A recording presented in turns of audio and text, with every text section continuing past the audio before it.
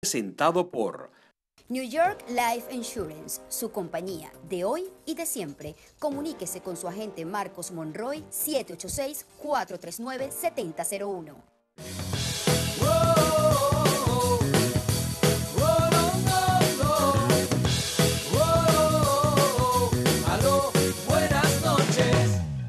Seguimos con más aquí en Aló, buenas noches a través de El Venezolano TV. Quiero aprovechar para recordarle a nuestra audiencia que nos pueden seguir a través de nuestras redes sociales y a través de la página web. La vamos a poner en pantalla porque así usted puede regar la voz.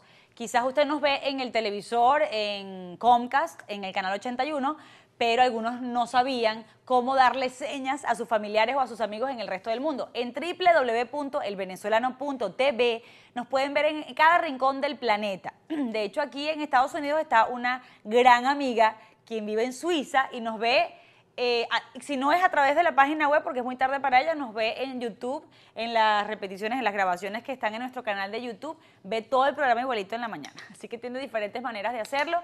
Instagram, arroba el venezolano TV, en Instagram y en el Twitter. Y si quiere seguir a mi compañero, quien está aquí eh, a mi lado cada noche, lo va a encontrar en eh, su eh, Twitter como arroba Acosta Carlos, en el Instagram como arroba Acosta Carlos TV y en el Facebook como Carlos Acosta. Ahora, si usted quiere seguir a la joven mujer, a la bella mujer que cada noche me acompaña haciendo este programa, pues usted la busca en las redes sociales así, en Twitter y en Instagram como arroba Carla Angola. Ahora, si la va a seguir en Facebook, como siempre le recomiendo, no coma cuentos de camino. En Facebook usted verá otras Carlas Angolas con esa misma, con esa misma fotico, pero no es ella. La de ella es Carla Angola, página oficial. Así que no coma cuentos de camino porque hasta platica le piden el nombre de ella. ¿A mí? No, no. Ah, a, las que no soy yo. A los seguidores, estas... estas es eh, horrible, No vamos a decir impostoras, estas usurpadoras. Son unas más dramático. impostoras son usurpadoras. Bien, tenemos nuestro invitado.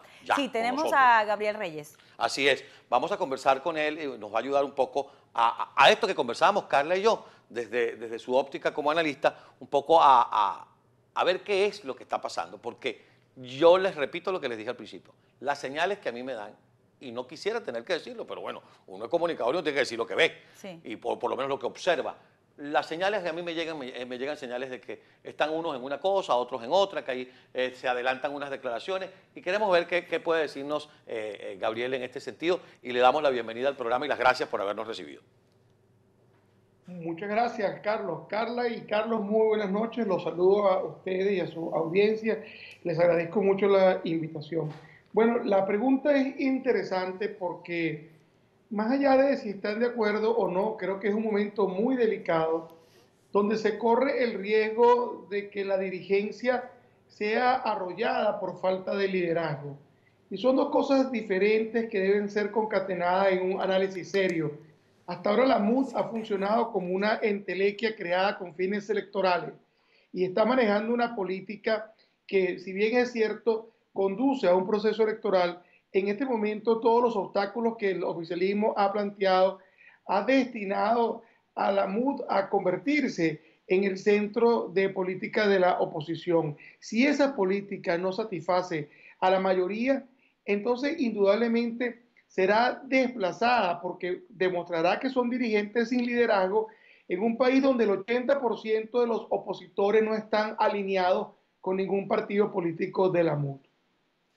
¿Cómo es eso, profe? Eh, amplíanos, por favor, esa información.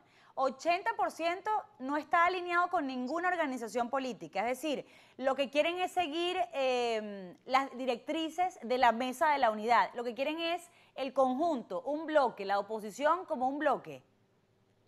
Más allá de eso, Carla, eh, es muy triste aquel político o aquel partido político de oposición que considere que los votos que obtuvieron sus candidatos o el partido mismo en los eh, comicios, en todos, incluyendo el último del 6 de diciembre, son votos que constituyen su capital eh, político. Evidentemente, las opciones en un país polarizado son el gobierno o contra el gobierno, y muchas veces contra el gobierno, no importa quién esté, ese es el que recibe el voto. Eso lo que te quiere decir es que no, todo, no todos los votos que ha obtenido la oposición pueden endosarse uno a uno a las corrientes políticas que lo representan.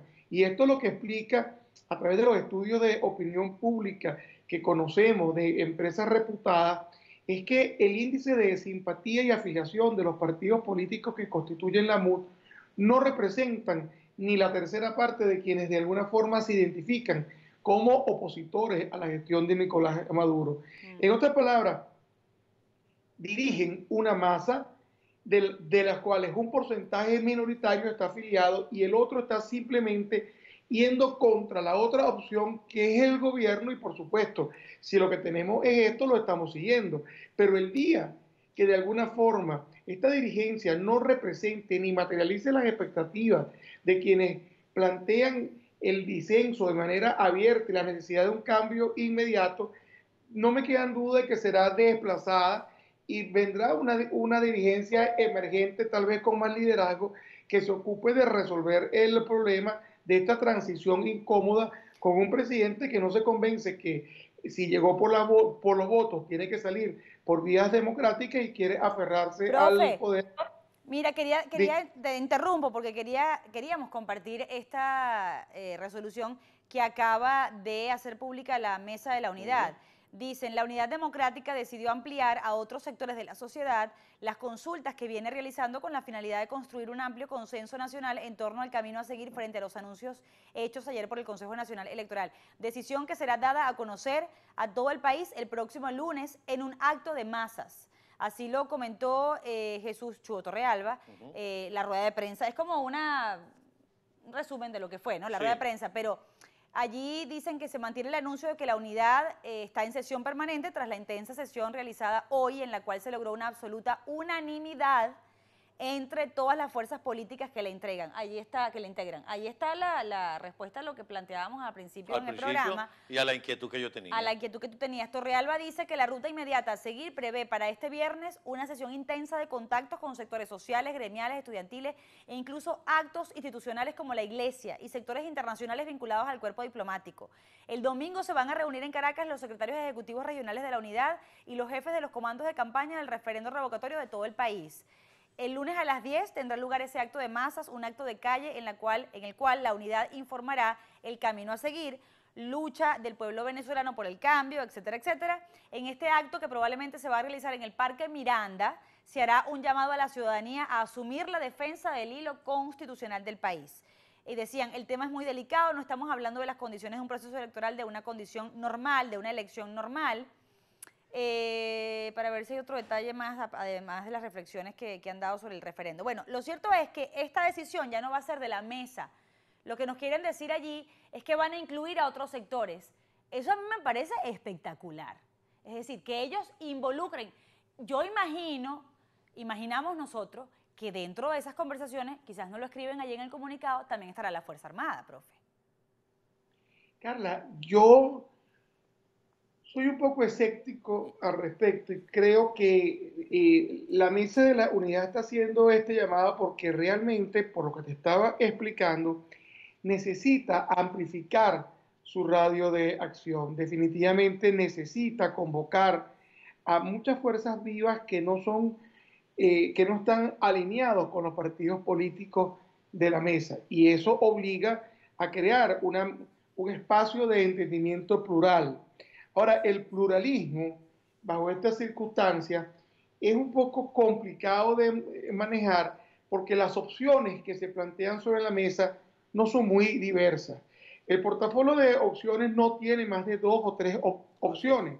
Una de ellas es irse por la vía electoral, o sea, acatar la voluntad del Consejo Nacional Electoral, transitar la vía de la convocatoria a la firma a finales de octubre para validar si es posible hacer un referendo en el 2017, con las consecuencias que esto traería, trabajando por unas regionales a final del 17 y esperar las elecciones presidenciales en el 2019.